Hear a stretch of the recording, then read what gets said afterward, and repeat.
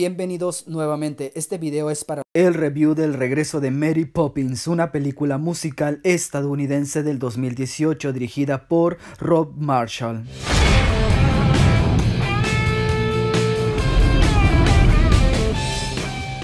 El regreso de Mary Poppins de Disney es una secuela con una historia totalmente nueva que celebra el espíritu de la película original Mary Poppins del año de 1964. En la historia durante la era de la Gran Depresión en Londres en los años 30, los hermanos Michael y Jane han crecido. Ahora viven juntos con los tres hijos de Michael y su sirvienta Ellen. Por lo tanto, Mary Poppins regresa para ayudar a la nueva generación de la familia Banks a recuperar la alegría y el asombro que falta en sus vidas. Con un guion similar a su antecesora, esta nueva versión no logra superar a la original debido a que los musicales no son asombrosos o memorables. Sin embargo, cabe destacar la decisión acertada en el nuevo reparto, así como los cameos realizados por algunos actores que participaron en la cinta de 1964. En conclusión, la película es una buena cinta con un nuevo rostro de Mary Poppins que le da frescura, elegancia y porte,